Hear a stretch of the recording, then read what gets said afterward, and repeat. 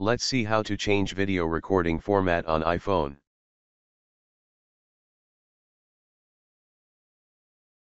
Now go to the settings.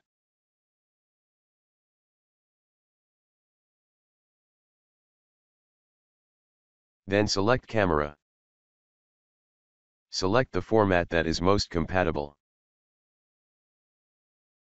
Now video recording file will be changed from MOV to MP4.